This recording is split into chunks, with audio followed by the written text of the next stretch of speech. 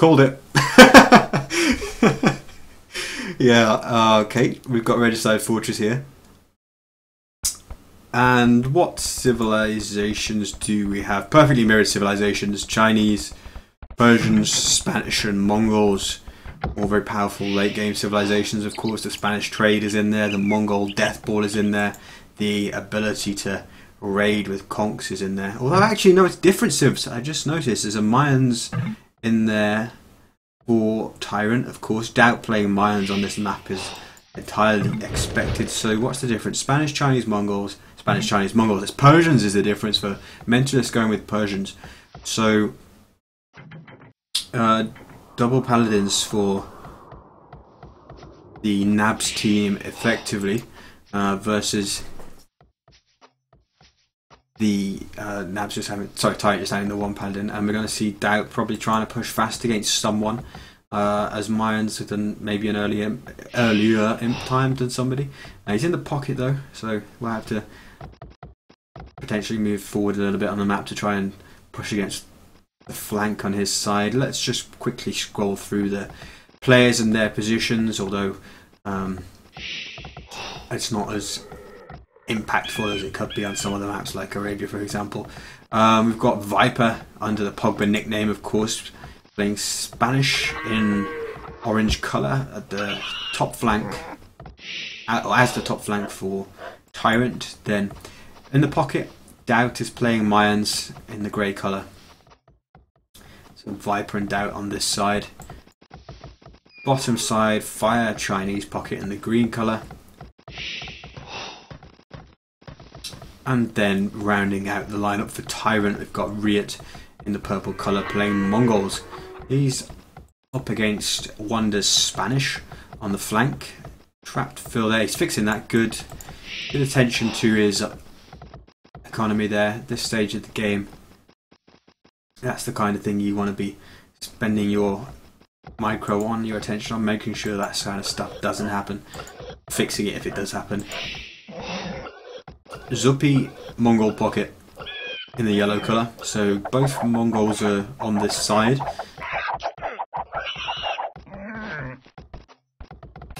And then we have Pike Chinese pocket in the teal colour. Once again, a mentalist playing in the red colour as Persians on the northern top flank for Nabs. I think all of the Nabs players are playing in the same colours, which is kind of helpful. Some players and Tyrant swapping around. Feudal Age time starting to kick in. This is insane. Look at this. Five players all going to Feudal at the same time. So they were pretty much playing identical identical starts. Mentalist a little bit later, and DauT and Viper the ones who were hanging around just for a little bit longer. In the Dark Age, that is. Obviously, with the extra resource starts and having the farms and everything on Regicide Fortress, we see very fast feudal, fast castle times. So I guess thinking about what players might be doing, we could see Wonder, the Spanish player, trying to raid a little bit with Conks in the Castle Age, um, and likewise Viper playing Spanish for Tyrant. DauT could do the same with Plumes. Obviously, it's kind of advantageous to choose civs like Mayans and Spanish on um, Regicide Fortress because you get that castle straight away, so you can access your unique unit, make a few of those whilst booming pretty easily. But in general, it's going to be quite boom oriented for quite some time, I should think. What this X was about. Doesn't appear to be anything there. I guess they're saying like this hill could be important. They could be talking about that in a more strategic term. But there's there are no enemy kings or scouts or no resources there.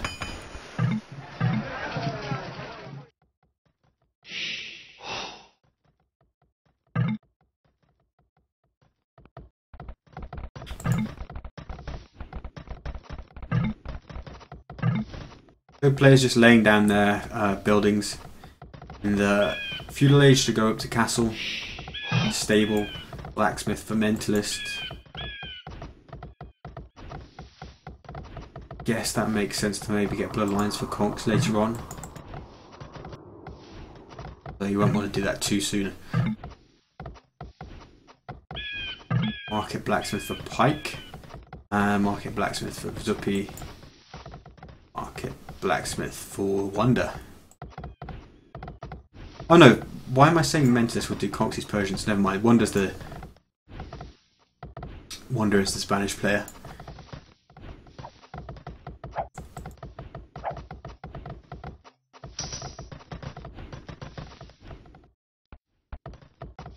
Yeah, everyone is going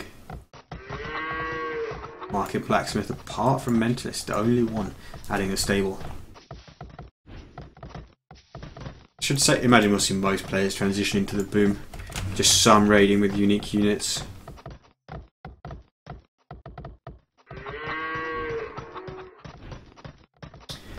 First players hitting the Castle Age shortly. Uh, RiuT going to be the first. Closely followed by Mentalist and Wonder. Noticeable that Tyrant in general just a little bit slower. Three of their players are going to be the last three to go up at more or less similar times. Of course they've hung around and got an extra village or two out.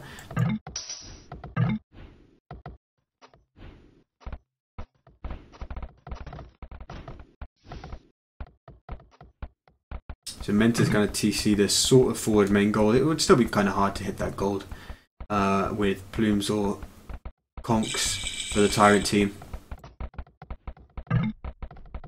But it's quite a good spot to TC because you want to eat up that gold, that sort of forward main gold fairly quickly. You don't want that to still be the gold that you need to take into the late game because you've started off on your second and third.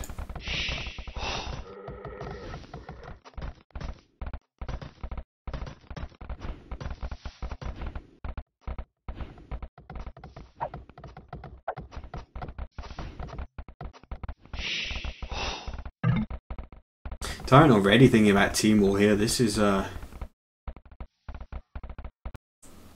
very kind of well, it's playing with defense in mind, isn't it? Um, although this house wall from fire is looking a little bit redundant, considering that DauT was actually gonna just wall all the way across here anyway. But this is securing quite a lot of the map for them. It's securing this corner eventually for trade and expanding economies into ensuring that it can't easily be raided in there.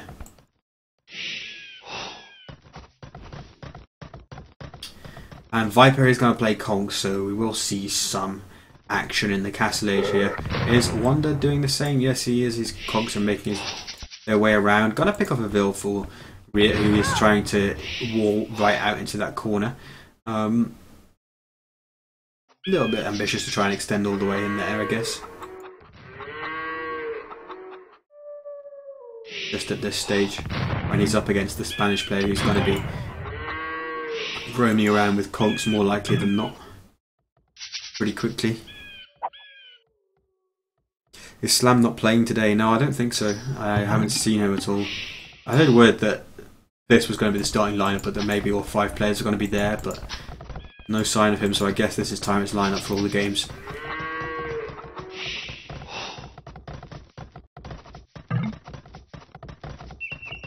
Looking at villager numbers, I think Tyrant getting slightly ahead in the boom now. RiuT was first to cast age that we saw. A couple of vills ahead of his equivalent Civ opponent for Nabs. Fire's the one racing ahead.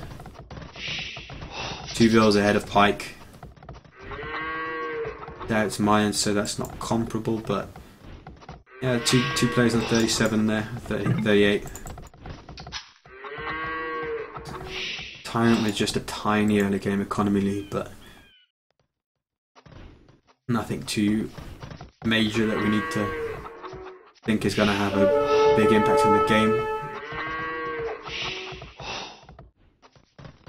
Just where that attack horn notification was actually taking place.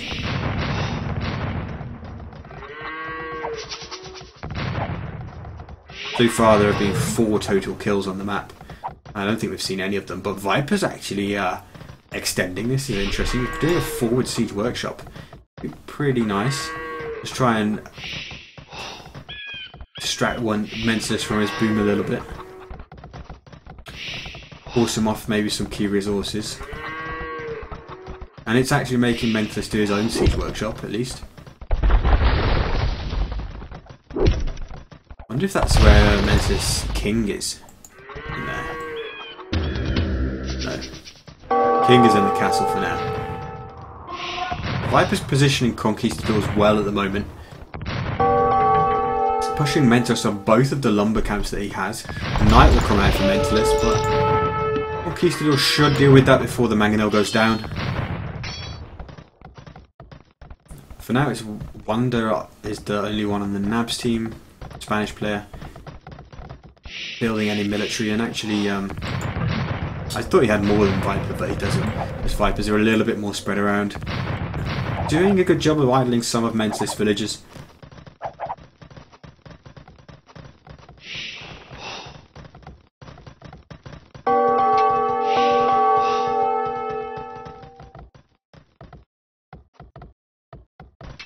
right now, apart from the uh, occasional conquistador skirmishing that we're seeing, picking off the odd villa here and there and idling some opponent resources, it, it is really a, a booming competition in large part.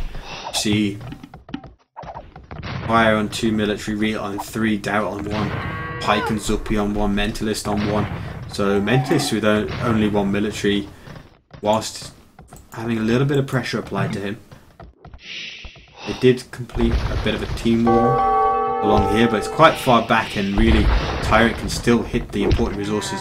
Um, Pike is actually now slinging Mentalist, so... Um, shouldn't be able to go to the Imperial Age too early because he's actually lacking quite a bit of food. Pike's just sending in some more. I guess the Pike will send the extra resources over soon enough and we'll be able to go. So we've got the Chinese slinging, and then Fire is the one sending Sling to RiuT and the Mongols. So both Chinese players slinging. I guess that must be standard for Regicide Fortress. I've honestly not seen enough games to remember if that's the most common thing to do, but I guess it makes good sense.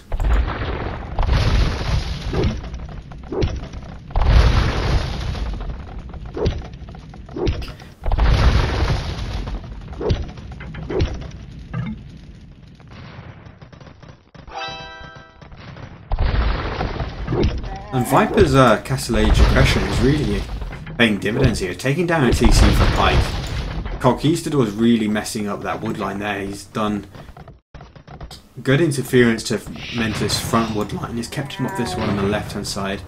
Not applying too much extra pressure to Mentalist base, but he may be able to deny this wall. In fact, he has done. Um, so I guess in interfering a little bit with two players, not bad. And he's still kept up in the boom with his direct opponent. He's 65 bills to Mentalist 66.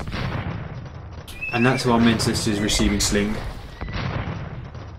So good job by Viper in this game. I wouldn't say he's played anywhere near his potential in the first two games, but he's having a good effect on this one just now. So looking at Imperial Age timings, RiuT is going to hit it soon. Wonder's actually in on RiuT though and doing some good damage with the Conks and Mangonels. Uh, may be able to, by taking out some farmers, might be able to take out a TC. RiuT in the Imperial Age will eventually push him back, depending on Wonder's uptime, but it means that RiuT's going to have a little bit harder time getting truly rolling with the Mongols. He's getting the upgrades he needs, Elite Mangudai, Thumbring, he's got castles, and he's getting some sling as well from Fire. But I guess the Mongols player for the Nabs team is, that being Zuppy in the yellow, is going to be uh, more unopposed, I guess, and able to get rolling with the Mongols better. He's got 22 more villagers than RiuT, and he hasn't had villagers idle as well, so perhaps Zuppy is going to be a stronger Imperial Age play, Mongols player here than RiuT in the end. Uh, I guess it depends on the amount of sling that RiuT continues to receive. So far, 5,000. Yeah, he's still getting it. That's just jumped to 5,400. This castle on the hill from Mentalist is being denied by Viper's Mangonels. Mentalist will want to probably delete this, but that got to 37%, so that's a lot of stone to lose if you have to delete it. With camels going out, maybe you can push Viper away and delete it all. And, and uh, not have to delete it and, and, build it, sorry. But DauT's coming forward and wants to put his castle right in that spot to deny it, and the plumes are coming to help out against the camels. A little bit of micro on the conks. Great mangonel shot. Means that those camels won't be hanging around to do good damage to the conks, and that castle the mentalist will go down. You don't want to go out there with those vills. That would have been suicidal. Uh, and DauT's castle will come up against uh, mentalist. Mentalist has invested quite a bit in camels now, and actually getting heavy camel first. Means he won't be able to invest so much in going, for example, cavaliers to fight against the plumed archers with the, the Persian bonus.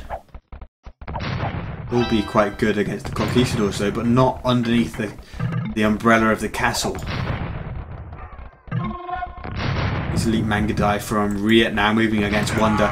Getting picked off pretty well though. Conquistadors for Wonder are on point and is uh, oh sorry in the location is on point, picking off Mangudai quickly. So that's going to be uh, not hugely costly, but it's losing. I don't know how many Mangudai that was, seven or so, with not really any payoff. It's never helps, especially when you've got a slightly smaller economy than the Mongol player that you're playing against in the end. Although Zupi, having boomed a little bit more, uh, is a little late to get the upgrades in combination with not having the sling backing him up as well, of course. But this Conquistador has been in that tree line for the whole game. But DauT is now ready to try and push against Mentalist with the advantage of the hill. I guess, you know, we saw at the start of the game they were flaring this hill and there was nothing there except the hill, but they were saying maybe, oh, we need to try and take this hill with our castle of our own, but it's the Tyrants who have recognised this, now have two castles on the location, and Mentalist with more trebs maybe can try and win the treb war, but DauT can outproduce him if he produces trebuchets from both castles, so uh, Mentalist might not be in the best spot to defend himself here. What's Pike doing? Walling the whole map. I guess their aim is to fight against RiuT and get the bottom corner because they'll never get the, the north northern corner. And just try and stop the Tyrant players crossing over as well, also securing some extra resources in the middle of the map. Zupi's taking a nice strategic position here. They can go in and push against Fire if they want to as well.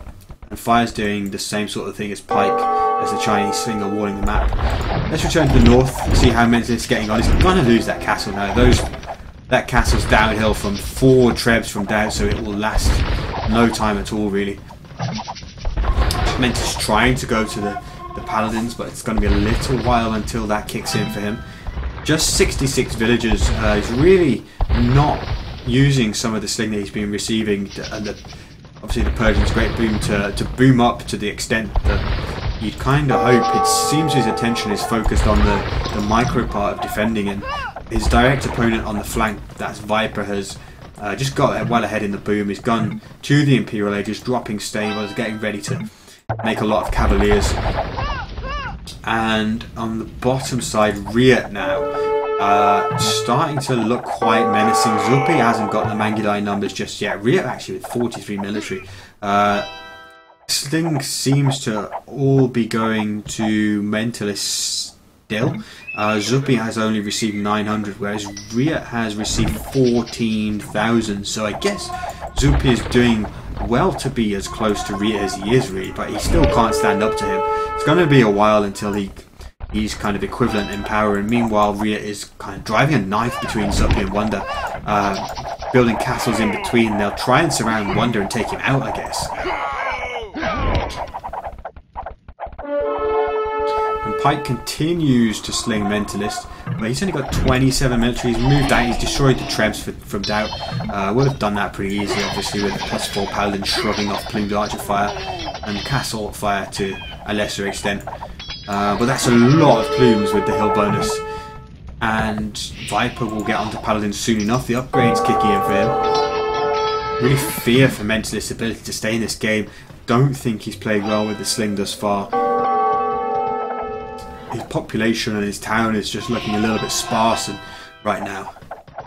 And RiuT getting siege Onager, which uh, that's one of the weaknesses of Elite Mangudai, of course, in the absence of good micro. And not saying Zuppi won't be able to micro well, but you're always vulnerable to getting your Mangudai caught out to some Siege Onager shots. And I don't think Zuppi will get Siege Onager for a very long time, so RiuT will have the upper hand there. Actually, Zupi, though, a lot of resources. Just uh, not really with the strong army on the field that RiuT has right now. His boom, though, is much more impressive, but to a certain extent, when you're receiving Sling, you know, you're not going to need as many Vils, despite how expensive Mongols can be. Mentalist almost evacuating now. All of his military is going to the south. Is he going to go and fight against RiuT? That's a possibility, I guess, but he could lose his base in the meantime in the north. DauT and Viper just kind of staging for now. They're not hurrying to push. Although that said, Viper's Paladins are in the back doing good damage and picking up more villagers from Mentalist. He's only on 40 villagers right now. This is really not good. And he's actually evacuating already with quite a few. RiuT and Zup is starting to look more even in the Mangudai numbers. Upgrades are equal as well.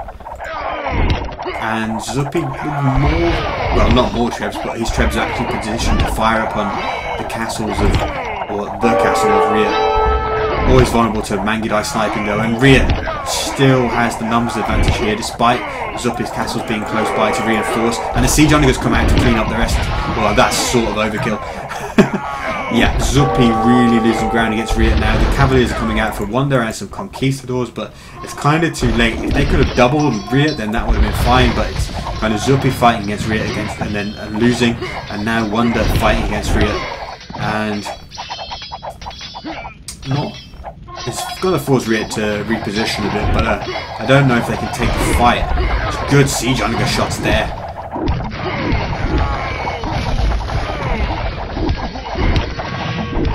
RiuT's actually doing a really good job with the attack ground there. Those shots going there were definitely attack ground, and Mentalist calling the GG is completely dead. The 16 villagers, oh my god, what happened to him in the last minute when I said he was 40 villagers? Completely died. Um, and Tyrant just demolishing Nadya's boys on the home map. Uh, slinging the Mongols worked out better than slinging the Persians. Mentalist just didn't use the sling to boom up as well and get his own economy. He was totally reliant on the sling from Pike. Uh, this was an important strategic position, which as was being flared at the start of the game, and it was Tyrant who came forward. Uh, I mentioned DauT as Mayans might want to push forward against the flank, and that's exactly what happened. Uh, and down in the south, I think Wonder was ready to be defeated. Well, not defeated, you know what I mean. He was being separated from the rest of his team with RiuT pushing at the gap between him and Zuppy. Wonder would probably have died eventually with RiuT continuing to come forward. Good game by Tyrant, and let's head back to game four. So, Tyrant quickly dispatching Nadya's boys in their home map. Who trains Regicide Fortress as a home map? Uh, well, it's not played in rated games, so but you see it a lot in tournaments, especially from the likes of Tyrant. It suits them a lot, I think. No king sniping on Regicide, unfortunate, isn't it? Hopefully there's not such a large delay for game 4 like there was for game 3. Right now we have 7 out of 8 players again. It's Tyrant the Viper that has actually disappeared for now. I assume he's coming back. I think he's gone out of the room and he doesn't have the password to get back in. Oh no, Viper's gone and Slam's in the lobby, so maybe Slam's coming to play for Viper instead. I'm going to take a quick break. Land Nomad is the next map.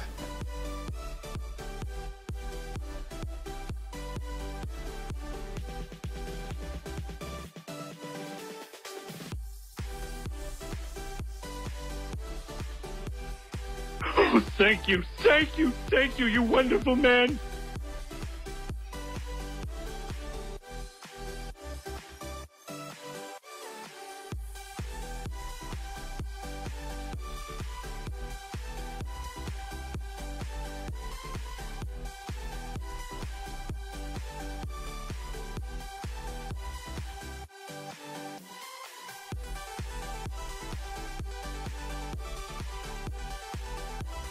Actually think Viper's coming back after rebooting his PC and Slam's going to play for Fire instead.